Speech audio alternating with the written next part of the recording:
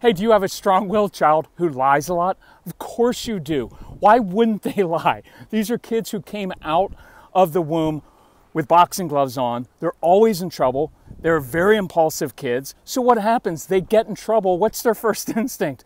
To make something up, to blame someone else. And you're going to say it's an integrity issue, and I want you to know it's not an integrity issue. Please listen to the Calm Parenting podcast. We'll explain why that isn't the issue. You will say it's a trust issue, and I'm going to turn it around on you.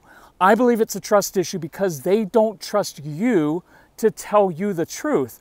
Think about this. Whenever your kids do tell you the truth, how do you react? Because if you overreact, if you shame them, if you're like, I can't believe that you would do that, well, guess what? They won't tell you the truth because they can't trust you. So this week, instead of trying to change their behavior and lecture them about uh, integrity, instead change your response to your child, and that will change them. This is Kirk Martin with the Calm Parenting Podcast. One minute reminder please check us out at the Calm Parenting Podcast. If we can help you in any way, please let us know.